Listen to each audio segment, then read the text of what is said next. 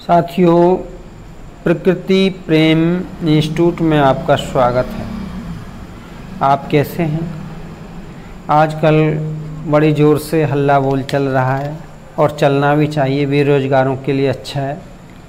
लेकिन तो किस बात का है, पिछले 20 साल से मैं देख रहा हूँ कि जो भी सरकार आती है तो मान लीजिए यही इसी सरकार का उदाहरण ले लीजिए कि 2017 में सपा सरकार 2017 से पहले सपा सरकार थी। तो उसमें क्या है, कि उसने एक वैकेंसी निकाली और अगले सरकार के भरोसे छोड़ गई। तो क्या है कि उसके बाद लोकसभा चुनाव आते हैं तो ये लोग सोचते हैं, उसको उसमें हम करेंगे। फिर ये अगली भर्ती निकालते हैं, उसको अगले, अगली सरकार के लिए छोड़ जाते हैं। यानी कि ये हम जनता को बिल्कुल मूर्ख और बेवकूफ़ समझते हैं। पढ़े लिखों को ये बिल्कुल मूर्ख और बेवकूफ़ समझते हैं। चलो छोड़िए आगे हम बढ़ते हैं। तो देखिएगा, प्रकृति प्रेम इंस्टीट्यूट में आपका स्वागत है। चलिए हम आगे बढ़ रहे हैं। तो हमने बताया, जैसे आपका है two multiply two multiply two multiply two. देखिए, ये कितनी बार है आपका? One, two, three, four. तो ये आपका चार बार है। तो दो की घात चार लगा देंगे। दो की घात कितनी लगा देंगे? चार लगा देंगे। तो इसी को घातांक कहते हैं। जो ये चार है आपका, ये वाला चार। इसको हम घातांक कहते हैं। क्या कहते हैं? घातांक कहते हैं। घातांक कहते हैं। और ये जो दो है आपका दो, इसको हम क्या कहते हैं? आधार कहते हैं। क्या कहते हैं? आधार। और ये जो आपका टू की पावर फोर है, इसी को हम घातीय संकेतन कहते हैं। घातीय संकेतन कहते हैं। तो देखिए, एक ये ध्यान रखना, जो एक भारतीय गणतज्ञ, एक भारतीय गणतज्ञ, जिनका नाम, एक भारतीय गणतज्ञ हैं, जिनका नाम है श्रीनिवास रामानुज। क्या है? श्री निवास।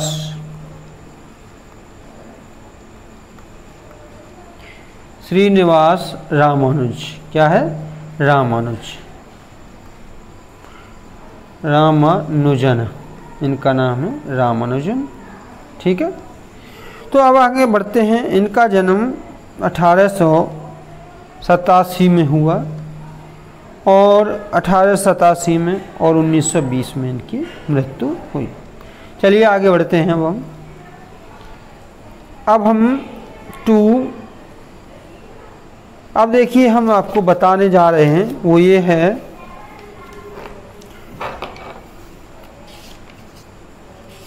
कि घातांकों का नेम, क्या है? घातांकों का नेम। तो इसमें घातांकों का नेम क्या है, ये जानिए आप। तो ठीक है, जो घातांकों का नेम है, ये है। सब नंबर एक, घातांकों का name.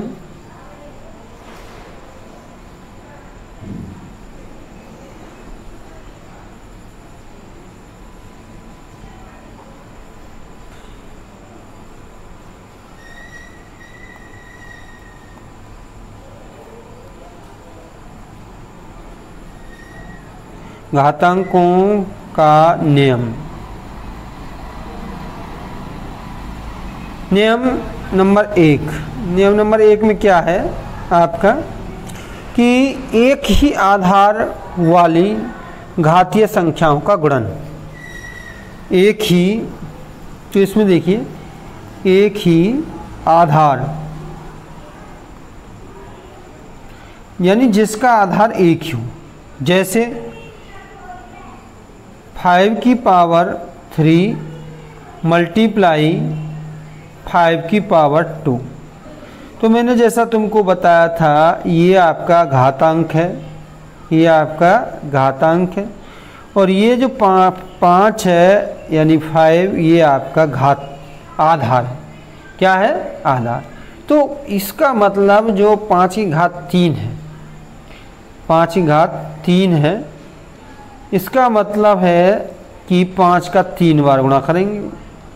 Five multiply five multiply five.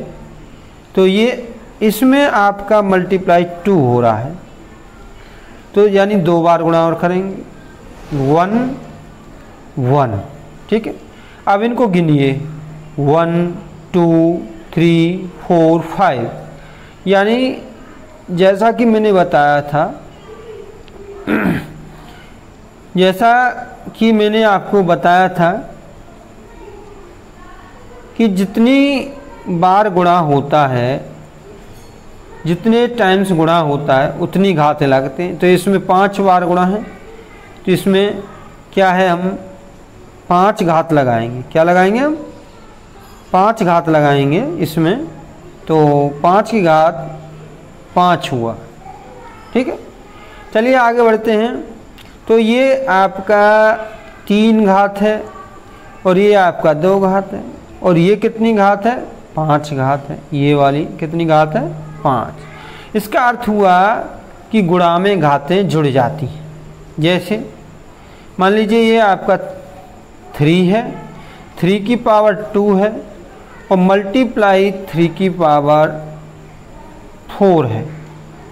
तो पहले थ्री की पावर टू है तो इसका मतलब है दो बार गुणा थ्री मल्टीप्लाई थ्री अब है इसका चार गुणा, बार गुणा वन टू थ्री फोर अब इनको गिनते हैं। कितने हो गए? One two three four five six यानी इसको हम थ्री की पावर सिक्स कह सकते हैं। यानी लिख सकते हैं। ठीक है? तो इसका कहने का अर्थ है, यहाँ टू पावर है और यहाँ फोर पावर है। तो इस पावर को हम क्या है, यदि आधार एक जैसा हो तो गुणा में घातें जुड़ जाती हैं। तो गुणा में घात क्या है, जुड़ जाती हैं। यदि आधार एक जैसा हो तो गुणा में घातें जुड़ जाती हैं। तो इसको हम ये तीन घात छः ये भी तीन घात छः और ये भी तीन की घात छः इसको हम कहते हैं गुणा में समान आधार। समान आधार होने पर गुणा में घातें जुड़ जाती हैं। ठीक है? समान आधार होने पर गुणा में घातें जुड़ जाती हैं। समान आधार होने पर गुणा में घातें जुड़ जाती हैं। चलिए आगे बढ़ते हैं। तो जो मैंने लिखवाया था, यानी इसको हम ये लिख सकते हैं ए की पावर एम मल्टीप्लाई ए की पावर एन तो यानी देखिए ए और ए आधार समान है। तो जब समान आधार होगा तो गुणा में घातें जुड़ जाएँगी। ठीक है? समान आधार होने पर गुणा में घातें जुड़ जाएँगे। चलिए आगे बढ़ते हैं हम। अगला प्रश्न है हमारा। देखिए, अब भाग वाली बात है। जैसे मान लीजिए, टू की पावर सेवन भागित टू की पावर थ्री। तो हम देखते हैं कि टू कितने बार है? टू आपका है सेवन बार one, two, three, four, five, six और सेवन। इधर कितनी बार है? थ्री बार वन, टू, ये टू है और थ्री। तो वन, टू, थ्री। अब देखिए वन टू थ्री कितने बच्चे? ये बच्चे फोर तो इस प्रकार से इसको हम क्या लिख सकते हैं? टू की पावर फोर लिख सकते हैं।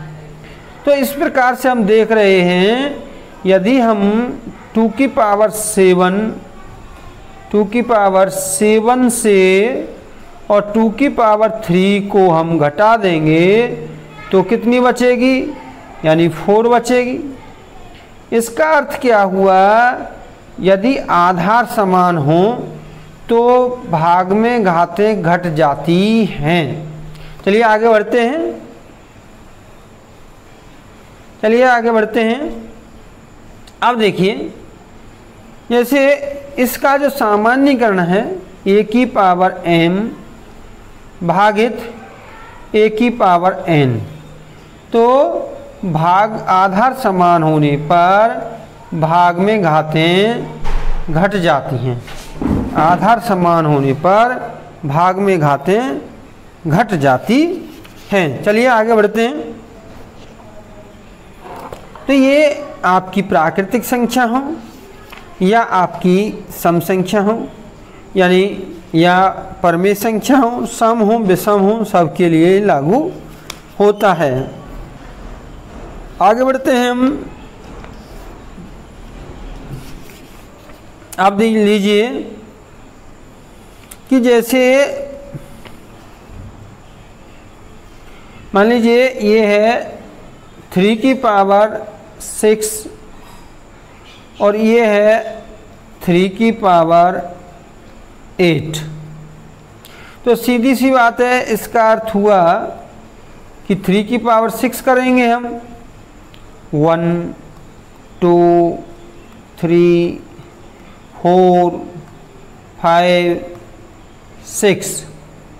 अब देखिए यहाँ एट करेंगे one, two, three, four, five, six, seven और एट। तो देखिए, one, two, three, four, five, six. One two, three, four, five, six. इससे one, two, three, four, five और सिक्स। यानी कितने बचे? टू बचे। तो हम देख रहे हैं, यदि सिक्स में से एट जाएँगे तो टू बचेंगे। यानी थ्री की पावर सिक्स माइनस थ्री की पावर एट तो ये बचेंगे थ्री की पावर माइनस टू यदि भाग में घात बड़ी है तो माइनस की संख्या बचेगी। और इसको यदि हम बनापोन ले जाएँगे तो ये प्लस की घात हो जाएगी। ये बच, ये मेरे प्यारे बच्चों, में इसलिए बता रहा हूँ कि जब हम प्रश्नावली सॉल्व करेंगे, अभ्यास सॉल्व करेंगे तो आपको दिक्कत नहीं आएगी। चलिए आगे बढ़ते हैं। अब देखिए, यानी ए की पावर ज़ीरो यानी कहने का मतलब है किसी संख्या की, प्राकृतिक संख्या की पावर ज़ीरो तो उसका मान एक होता है। देखिए, जानते हैं कैसे? मान लीजिए, पाँच है और पाँच की घात दो है। बटे में पाँच की घात दो है। ठीक? तो यहाँ देखेंगे कि पाँच गुणा में पाँच दो बार करेंगे। पाँच गुणा में पाँच दो बार करेंगे। वन, और इससे इसको काट दीजिए। कितना बचा? एक बचा।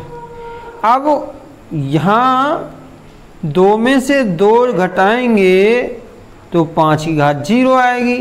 बराबर वन यानी कहने का अर्थ है, किसी पूर्णांक पूर्ण संख्या ज़ीरो को छोड़कर, उसकी घात यदि ज़ीरो है तो उसका मान एक होता है। अब हम चलिए आगे बढ़ते हैं।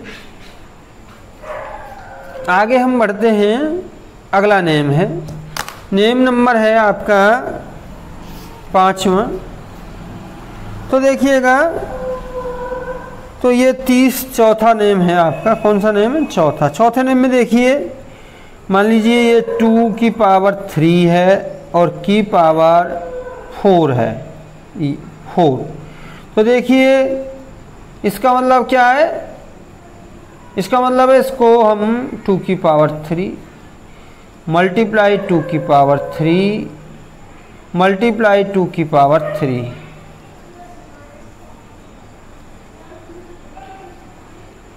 ठीक है? तो इसको चार बार लिखना है। कितने बार लिखना है हमको? चार बार लिखना है। ठीक है? तो देखिए, one, two, three. One, two, three, एक बार हो गया। अब दो बार लिखिए। One, two, three. फिर लिखिए। वन टू थ्री फिर लिखिए वन टू थ्री तो देखिए दो का गिनते हैं हम। One two three four five six seven eight nine ten eleven twelve यानी ये आपका हो गया टू की पावर ट्वेल्व यानी बारह।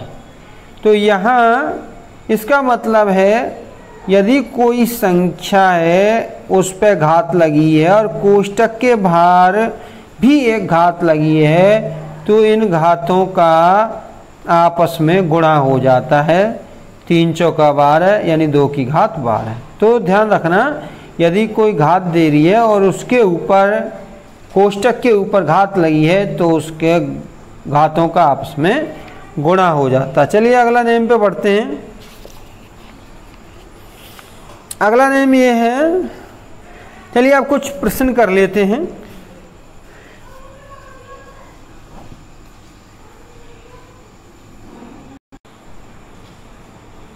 लीजिए आप कुछ प्रश्न कर लेते हैं। हमने बताया था, ये लीजिए, सरल कीजिए।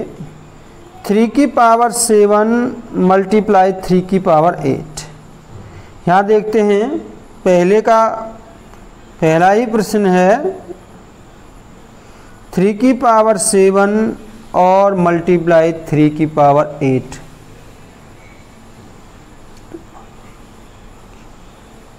तो गुणा में घातें जुड़ जाती हैं।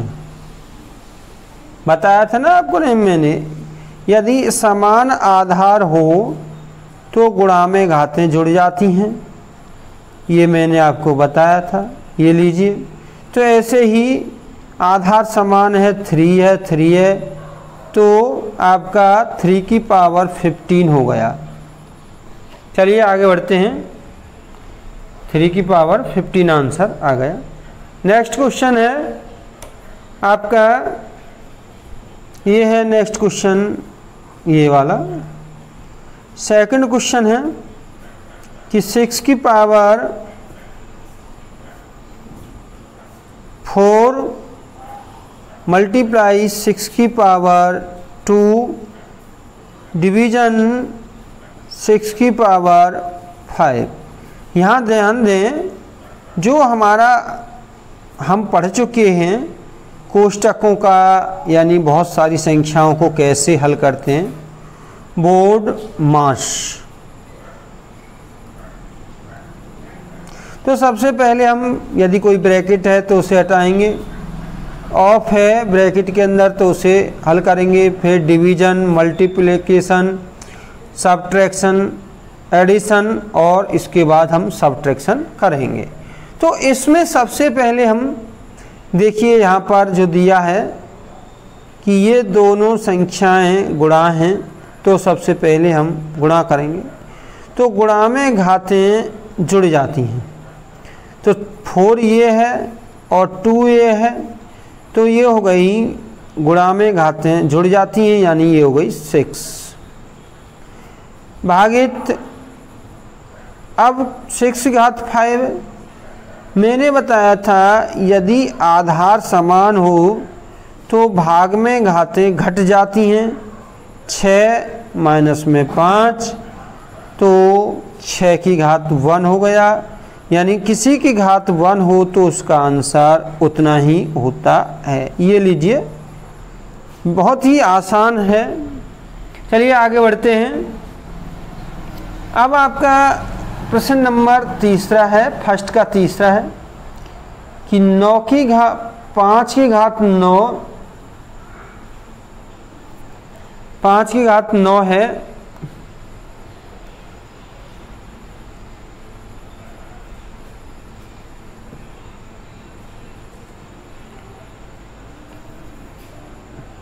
पाँच की घात, ये आपका नौ है, गुणा में